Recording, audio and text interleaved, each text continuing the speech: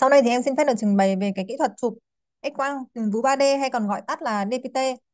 ờ, về nội dung bài trình bày của em thì gồm có 6 phần. Thứ nhất là về khái niệm về chụp X-quang tuyến vú 3D, à, ờ, nguyên lý hoạt động của DPT, ưu điểm của DPT so với mammography 2D thông thường, à, hạn chế của DPT, ứng dụng DPT và đề xuất quy trình sử dụng uh, DPT. Thứ nhất là về khái niệm thì uh, chụp ừ,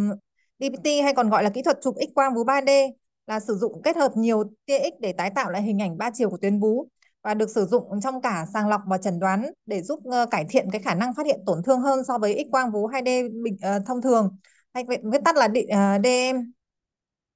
Về nguyên lý của DPT thì um, DPT khác với DM thông thường đấy là DPT cái bóng của DPT nó sẽ quay uh,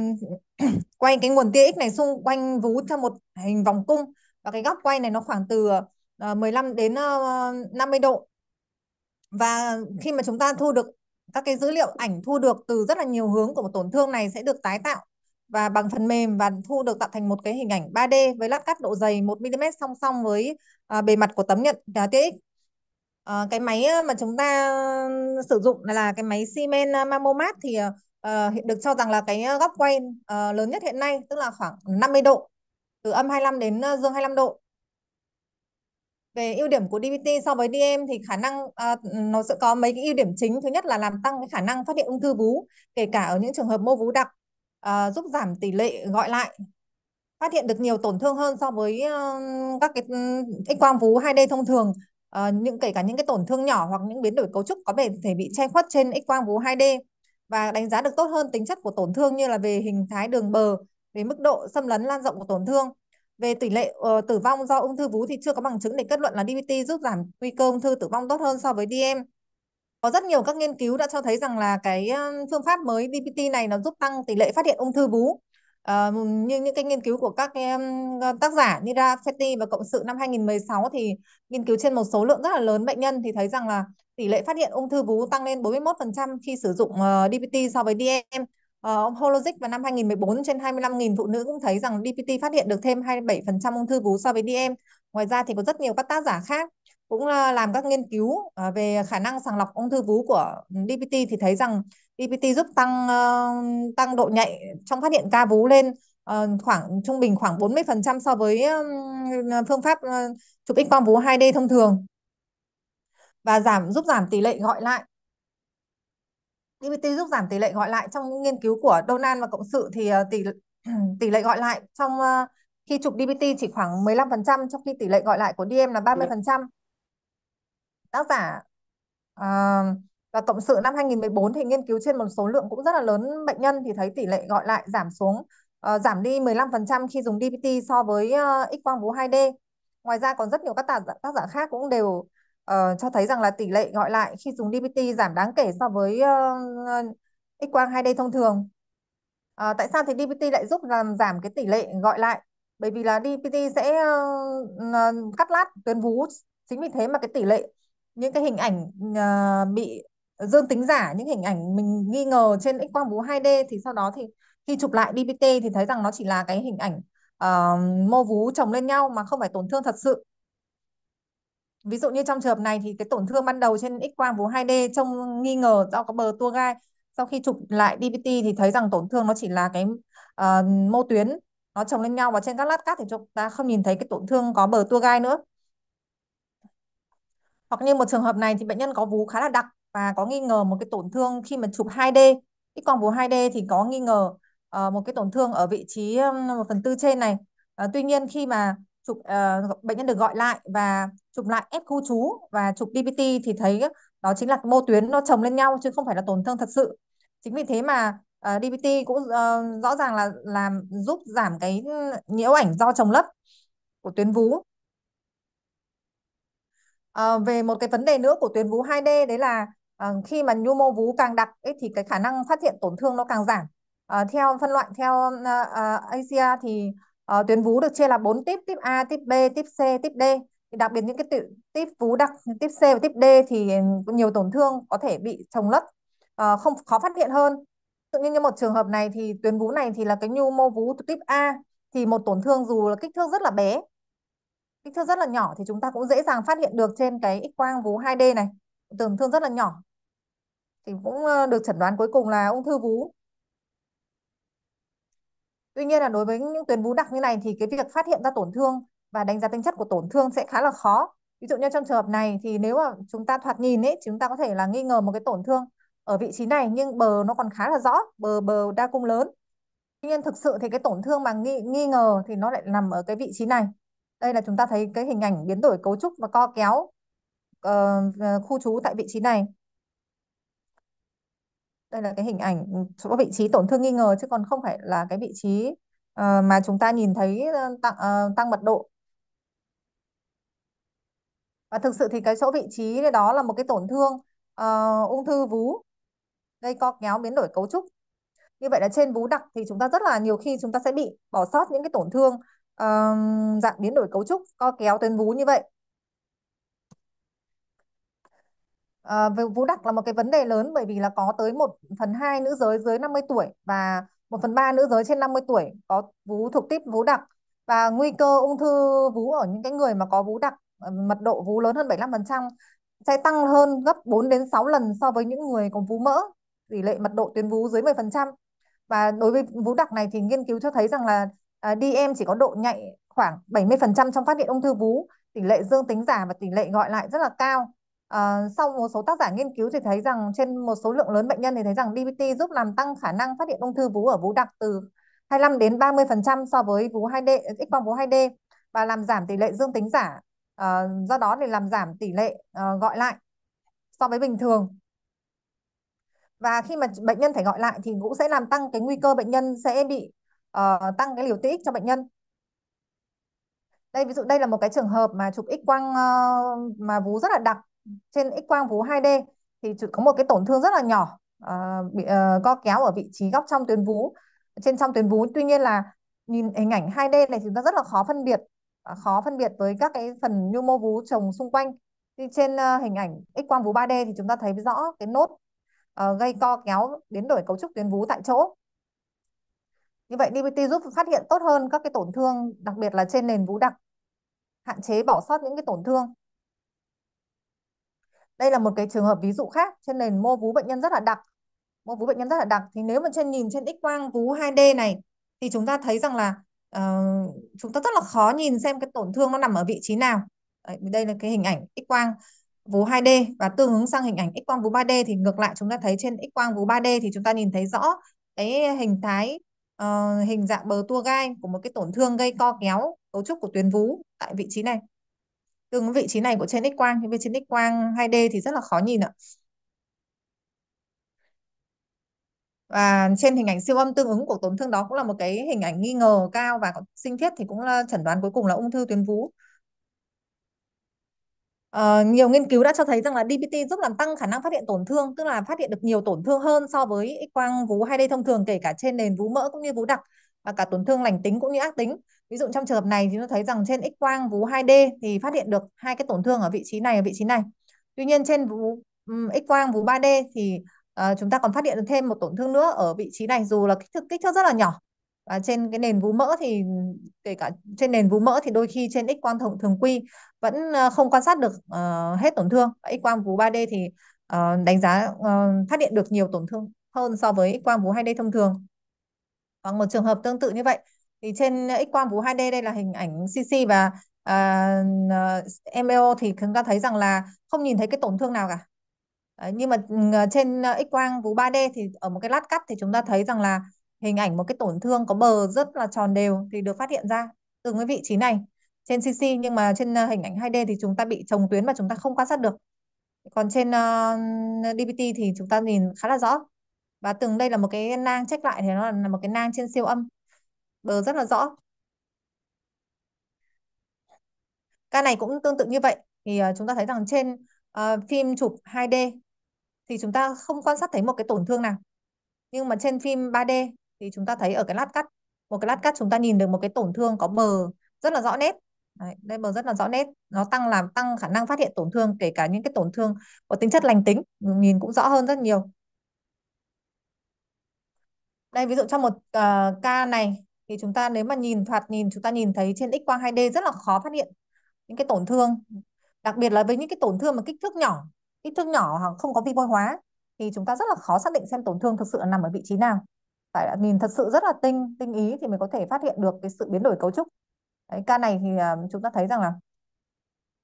cái tổn thương nó rất là nhỏ đây. Bạn nhìn thấy trên uh, nếu so sánh hai bên thì chúng ta nhìn kỹ thì thấy so sánh hai bên thì đúng là cái vị trí này đấy cái một cái tổn thương có kích thước rất là nhỏ và có cái bờ có vẻ như là tua gai. Đấy, nằm tương ứng vị trí này trên ờ, uh, CC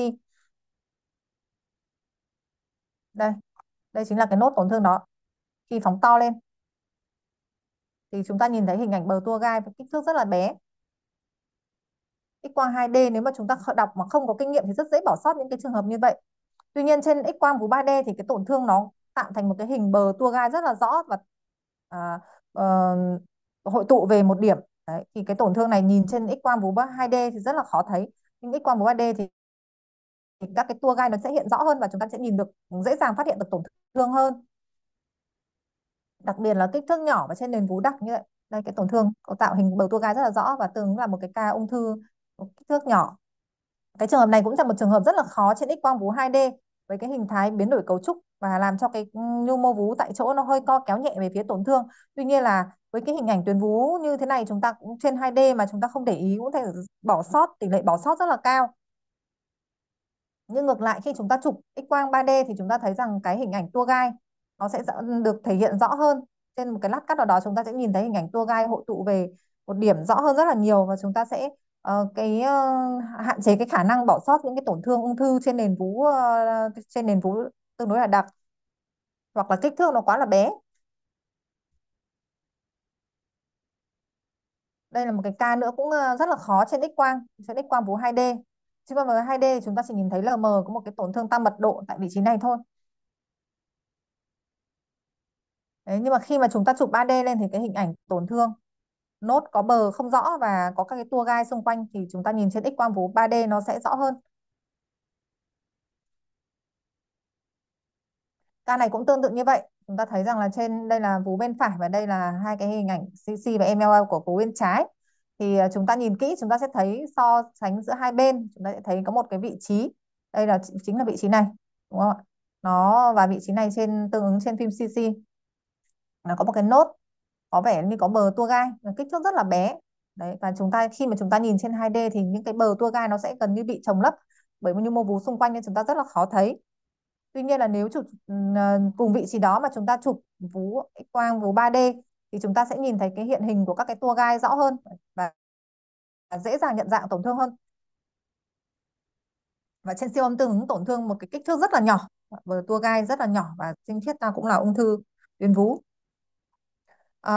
Uh, DBT cũng giúp mà chúng ta phân tích rõ hơn cái hình ảnh đặc điểm đường bờ của tổn thương. Ví dụ trong trường hợp này là một cái tổn thương uh, trên phim 2D. Trên phim 2D thì chúng ta thấy là rất là khó phân biệt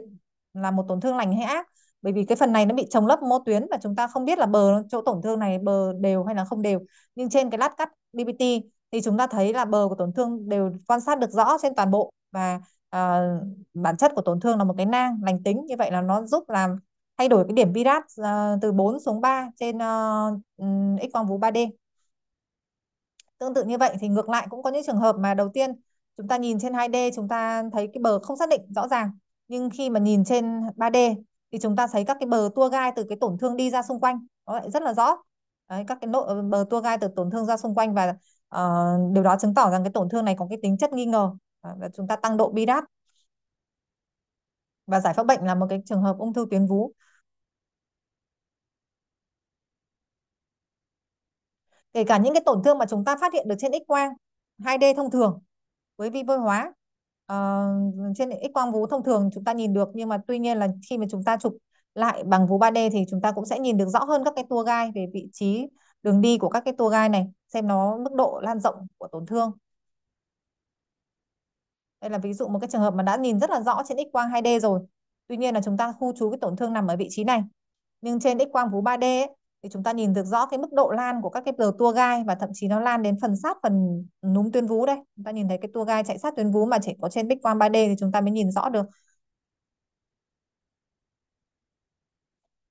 như vậy là chúng ta đã thấy được các cái cái rõ ràng rằng là cái hình ảnh x quang vú 3D thì nó giúp giảm bớt cái sự chồng lấp của nhu mô tuyến, giúp giảm cái tỷ lệ dương tính giả và tăng cái khả năng phát hiện cũng như là đánh giá cái tổn thương vú trên 3D hơn so với X quang vú 2D. Tuy nhiên DPT cũng có một số cái hạn chế. Đó thứ nhất là nó đang gây tăng liều bức xạ tại vì là ờ, uh, DPT sẽ thu ảnh uh, nhiều hơn. Uh, và mặc dù là cái, cái, cái kỹ thuật tuyên tuyến đã giúp làm giảm cái liều bức xạ tuy nhiên là và vẫn và cái liều bức xạ của DPT vẫn nằm nằm trong ngưỡng an toàn. Tuy nhiên là theo các nghiên cứu thì thấy rằng là cái liều bức xạ của DPT vẫn cao hơn khoảng 1,5 lần so với uh, X quang vú 2D thông thường. Thứ hai nữa là cái chi phí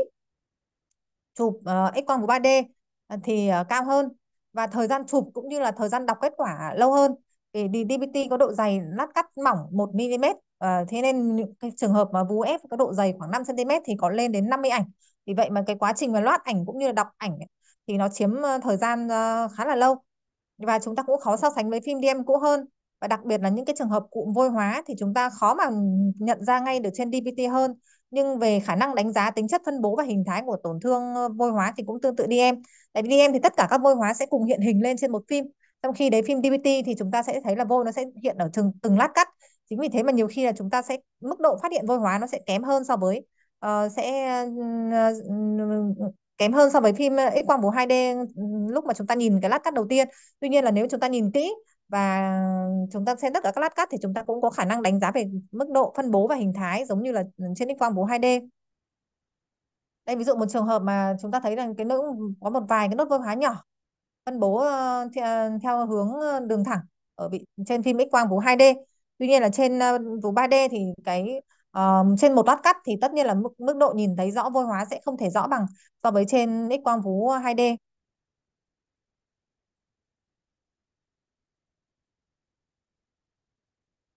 về ờ, đấy là một số cái hạn chế của ờ, DPT à, ờ, về ứng dụng của DPT thì à, được ứng dụng trong chẩn đoán ung thư vú. Đối với những cái bệnh nhân mà có kết quả nghi ngờ từ khi, khi chụp X quang vú 2D 2D thì DPT sẽ khi chúng ta cho chụp lại sẽ có hình ảnh chi tiết rõ ràng hơn. Ví dụ ở một ví dụ của nghiên cứu của bác Bagnadi và cộng sự thì thấy rằng DPT phát hiện ca vú giai đoạn sớm nhiều hơn khoảng 30% so với X quang vú 2D và uh, DPT cũng được dần dần được ứng dụng dụng vào cái việc sàng lọc định kỳ một số chương trình sàng lọc ung thư vú bắt đầu tích hợp BBT vào quy trình sàng lọc định kỳ để giúp nâng cao hiệu quả phát hiện sớm, đặc biệt là cho những cái phụ nữ có nguy cơ cao hoặc là những người phụ nữ có nhu mô vú dày. Về quy trình à, đề xuất về cái quy trình chụp DBT thì à, DBT uh, à, có thể thay thế hoàn toàn uh, X quang vú 2D không hay là một phương pháp bổ sung và chúng ta nên uh, có nên chụp DBT một tư thế kết hợp với phim Ờ, uh, 2D thông thường hay là chụp DPT hai thể, hai tư thế CC và MLO và hay là kết hợp đi uh, X quang của 2D một hoặc nhiều tư thế với DPT một hoặc nhiều tư thế? Thì đây là còn là cái câu hỏi để chúng ta tranh cãi để nó liên quan đến cái vấn đề liều tia cho bệnh nhân và cái giá trị chẩn đoán. Và DPT cũng uh, độ nén ít nhất 2 mm nhưng những người vú nhỏ hơn thì không chụp được. Và có khoảng 5 đến 9% tổn thương ung thư vú chỉ quan sát sát thấy trên CC và 1 đến 2% ờ, tổn thương ung thư vú chỉ nhìn thấy trên phim ờ, MLO nên chính vì thế mà cái việc mà chụp hai tư thế uh, có thật sự là uh, cần thiết hay không? Về uh, một số đề xuất về cái quy trình sử dụng DBT trong chẩn đoán và sàng lọc. Thì trong sàng lọc ban đầu thì DBT uh, nên được sử dụng cho những phụ nữ trên 40 tuổi uh, chụp uh, định uh, kỳ 1 đến 2 lần một năm. Đặc biệt là những người có mô vú dày hoặc có tiền sử gia đình có ung thư vú uh, chẩn đoán và theo dõi những cái bệnh nhân mà có kết quả nghi ngờ trên uh, X quang vú 2D thì nên được chuyển sang sử dụng chụp lại bằng DBT để có hình ảnh chi tiết và phân tích hình ảnh chi tiết hơn. Uh, và nên tích hợp DBT vào các cái quy trình tầm soát ung thư vú quốc gia để nâng cao hiệu quả uh, sàng lọc ung thư vú quốc gia và được cần cần phải đào tạo các cái nhân viên y tế để sử dụng DBT một cách hiệu quả. Vì theo rất nhiều các nghiên cứu thì rằng thấy rằng là việc dùng DPT trong sàng lọc thì giúp phát hiện được sớm nhiều ca ung thư vú và cải thiện được kết quả điều trị. À, em xin hết ạ.